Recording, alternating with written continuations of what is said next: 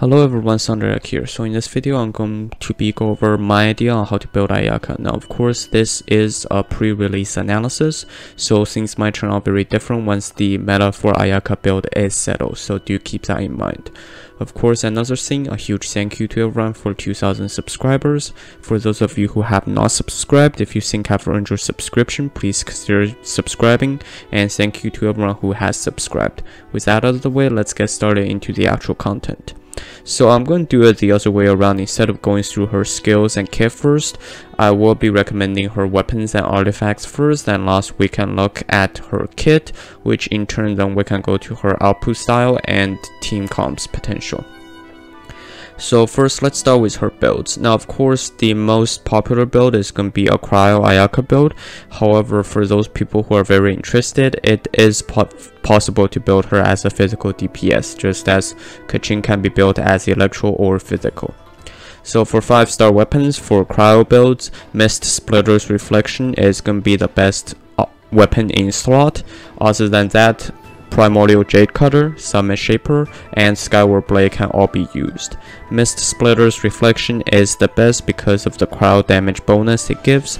Primordial Jade Cutter is a flat attack buff, which is very good on a main DPS. Summit Shaper is a shield and attack buff again, very good on DPS.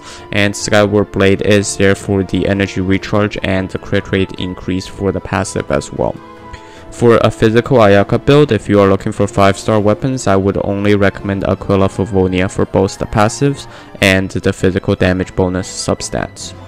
For 4 weapons, for cryo build, you can look at the Black Sword, Black Cliff, Black Cliff Longsword. However, for Black Cliff Longsword, you do have to look into how often you can trigger the passive, since it's more generally used for the crit damage substats. Festering Desire is another good one if you have that one at R5 from, uh, if you got it from patch 1.2 you have it at R5 which is good on Ayaka because of the energy recharge. However the passive is not very useful because she has a very long cooldown for both. The flute is a decent option if you want to use it just for the attack substats. Favonius sword and sacrificial sword are both good because of the energy because of the extra energy gained from either the passives in the case of Favonius sword or the in the case of the sacrificial sword two uh two of her E's in a row can also generate some extra particles and those are also good for their energy recharge substats. And lastly, if you're looking for the free-to-play builds, Iron Sting is going to be the worst option, and as well as the new craftable for sword for Ayaka will be the best free-to-play option. So moving on to the physical build. Physical build, I would only recommend either the Black Sword, the Black Cliff Longsword, or Rancor. Because for physical build, you don't really care about your ultimate or your E. You just want to dish out as much physical damage as possible. So either go with something that has crit, which allows you to build stack more on attack when it comes to artifacts, or build on Rancor, which already has physical damage bonus. Now let's move on to artifacts. One thing to know before we start on artifacts, Snowfield and Glacier, which is the set that has been leaked for about a patch now, it will most likely not come in patch 1.7 slash 2.0 because the set was not available during the beta testing for 2.0. So with that said, I will not be considering that set as a potential build. However, that set uh, both the 2-piece and the 4-piece can be very good if it comes out. Ayaka can take full advantage of that. So with that out of the way, let's go to the artifact build. The artifact build I would recommend is 4-piece Blizzard Strayer because it allows you to completely stack on crit damage without worrying about the crit rate. However, the main drawback for 4-piece Blizzard Strayer is if you're in any sort of co-op and anyone brings a Geo or a Pyro element, then you can always make sure that you, the enemies no longer will be frozen, and, or at least they won't be cryo affected, which does decrease your crit rate by quite a bit. Apart from that, the more stable build for a lower damage ceiling and a higher damage floor is 2-piece Blizzard Strayer or 2-piece Gladiator or Shimmy. Gladiator and the Reflection of Shimmy both increases attack by 18%, which is pretty good for a main DPS, while the 2-piece Blizzard Strayer covers up the cryo damage bonus needed. Now if you're going with the physical Ayaka route, the 4-piece Pale Flame is very hard to keep up unless you have C1. Even with C1 it is very hard to keep up so I would not recommend that. If you're going for a pure physical Ayaka build, I would recommend 4 2-piece Pale Flames, 2-piece Bloodstained for that 50% physical damage bonus. And if you're going for more of a hybrid build, you can swap out two of the physical pieces with two piece glider or two piece shimmy again for uh, attack percent increase. And for the more wild build, you can go for a four piece bloodstained. However, that is only working in the open world because in domains, especially in the abyss, there tends to be small uh, bigger groups, bigger enemies, however smaller groups of them. So it is very hard to trigger the 4 piece passive. So with that out of the way, now let's move on to her kit. I'll quickly briefly mention her kit and after that we'll look at potential ways to potential ways to play her in a team. So one thing to note regarding her ascension material since we're already looking at her kit. All you can prepare right now is the Shivada Jade which drops from the cryohypostasis, uh, cryohypostasis or the cryo Regisvine. Other than that, everything else is related to Inazuma, so this is the only thing you can prep right now other than of course Mora and the XP books of course. So with that out of the way, now let's take a look at her actual kit.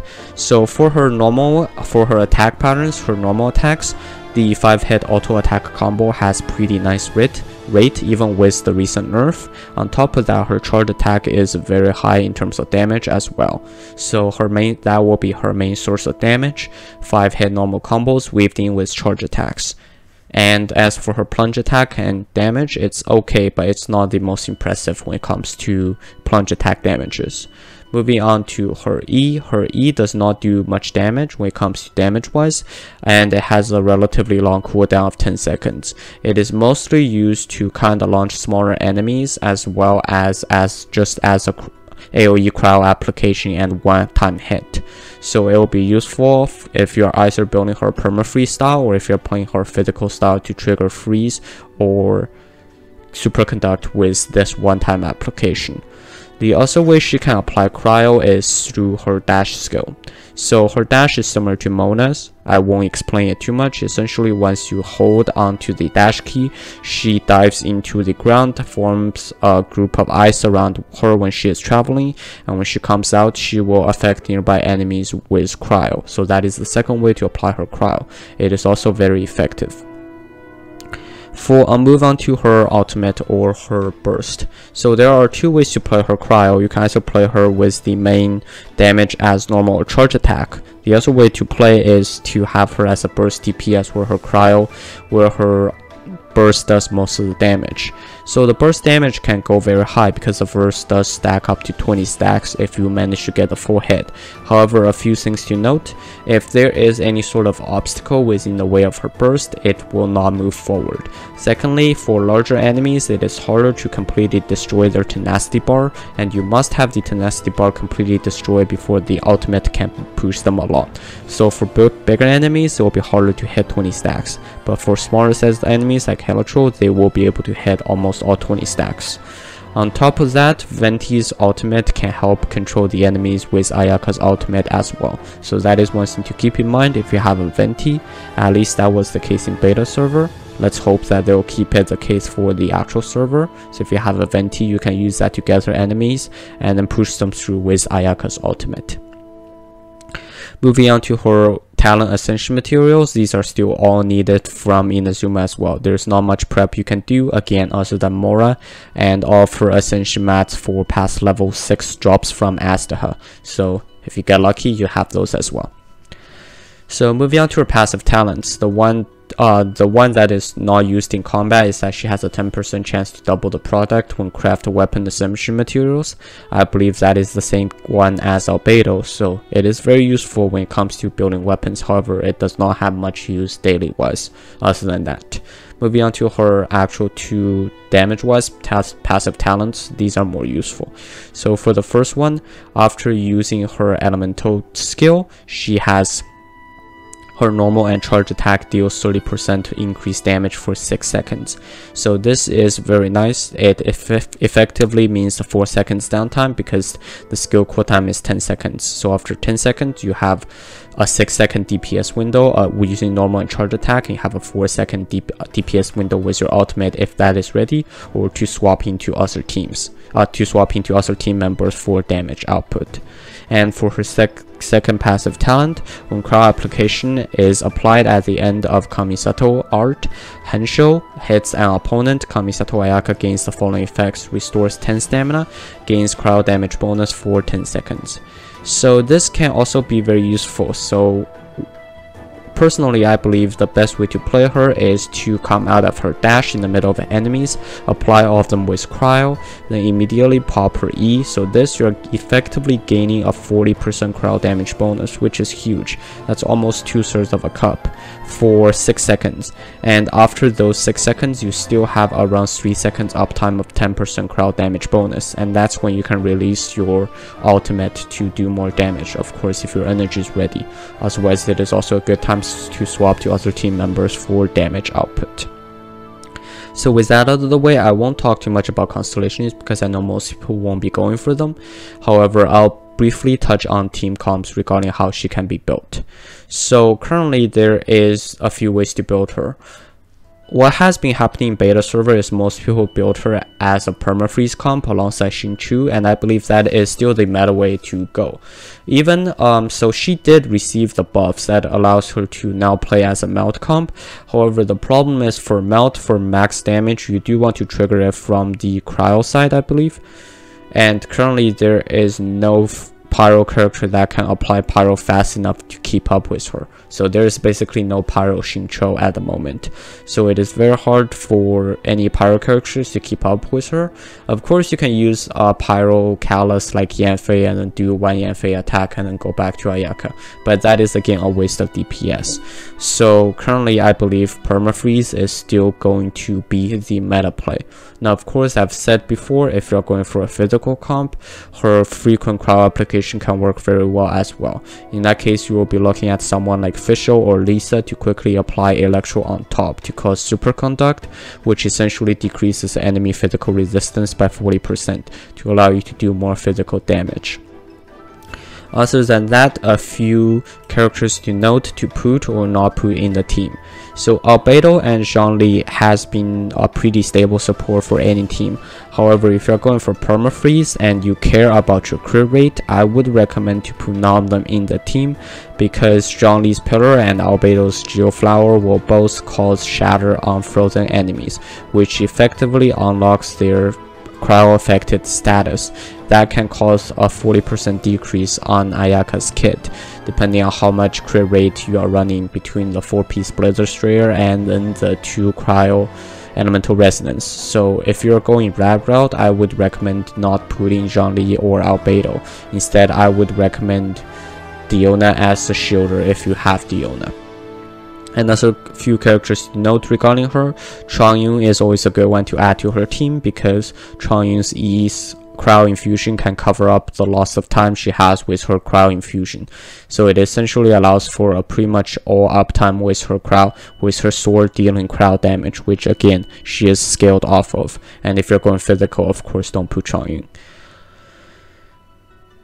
Fischl, I've said before, if you're going Electro, do put Fischl on the team to cause Superconduct. It is also a good source of off-field damage. However, again, if you're building physical, you will not be able to benefit from the crit of double cryo characters. Same case with Eula. Ganyu, if you have her, is going to be a good off-field support. In this case, you can just play Ganyu as a Q spam or with a few E to taunt enemies. However, Ganyu doesn't do much utility wise other than providing the second cryo character needed for that. So if you do have other better options i wouldn't recommend Ganyu here. I, you would just put her on her own team as a main dps i don't think she is needed to play support here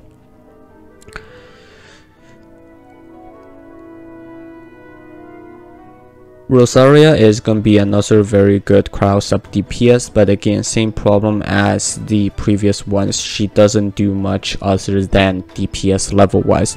So if you want a healer, Diona is still the best support option. and Sucrose and Venti of course you can consider because of their ability to gather enemies and that is very good for Ayaka because the easier the enemies can be gathered, the more she can do damage. Even though she doesn't really have any sort of constant AoE attacks, however, the way she works benefits from having enemies gathered together. And the last person to talk about is of course Xingqiu. If you have him, definitely put him on the team with Ayaka for perma-freeze comp. That is going to allow you to effectively keep enemies frozen at all times, which allows you for a huge crit rate increase if you're building a 4-piece Blizzard Strayer set. That is all the information I have for you today. If you like the content, please consider subscribing. Thank you and have a nice day.